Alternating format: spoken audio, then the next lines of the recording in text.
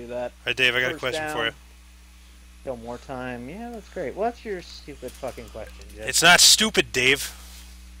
What's your question? If you had a team name called the Boston Blimps, and their mascot was called Bl- Blimpy, and Where are you going with I like how he's going to get the question out.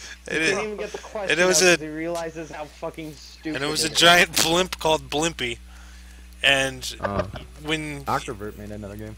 okay, I'll, I'll join that one. And every time, They're in field goal range. They could just kick another fucking field goal and make it another three possession game. and Blimpy would come out to say hi to the fans,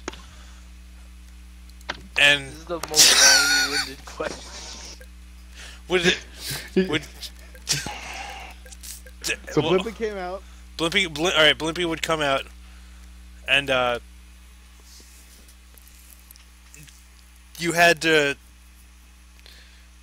shake hands with Blimpy. I, I guess uh, I don't know. He'll walk uh, among the every time they score a point.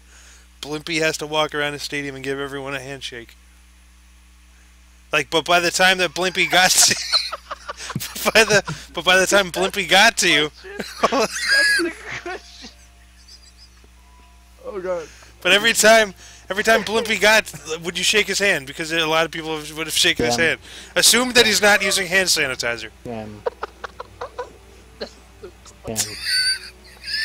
That's, that's the question. Oh,